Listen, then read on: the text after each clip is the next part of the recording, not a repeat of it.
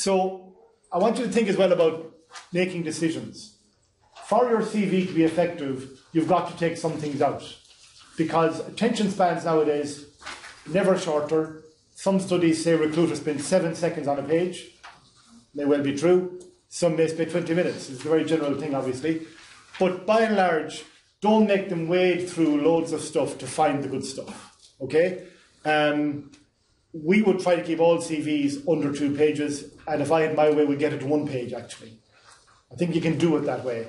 Um, and a very important point to make about being decisive is that sometimes people spend, and I was working with a client yesterday who was like this, did an application form. It was in a nursing, CNM3 kind of nursing role.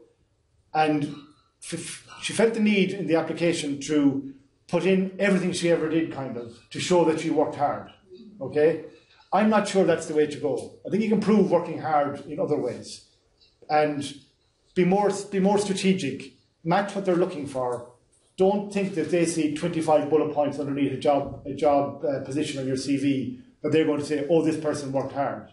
You might well say, they could have worked harder and made it easy to read this. Do you know what I mean? So think about being the curator of your own career and serving it up in a way that the employer looks at it and goes, gets their head nodding.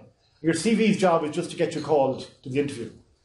And the first line of your CV's job is to get the reader to the second line. Do you know what I mean? That's the game you're playing. So and we'll go through how that works, okay? So don't be afraid to leave some things out, okay? But of course, we, we talk about the blanks. Aim for early impact.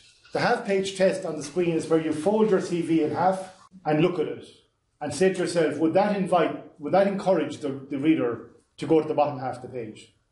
And frequently what you'll find is people take seven lines put in their contact details with double spacing and all, and the words curriculum vitae on top, which I would argue are superfluous. Clearly it's a curriculum vitae.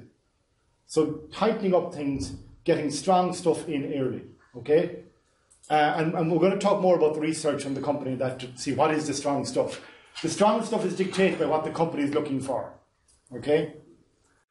We're SliNua Careers. We're Ireland's leading career training agency. Call us on 09495 42965 or visit our website slinuacareers.com.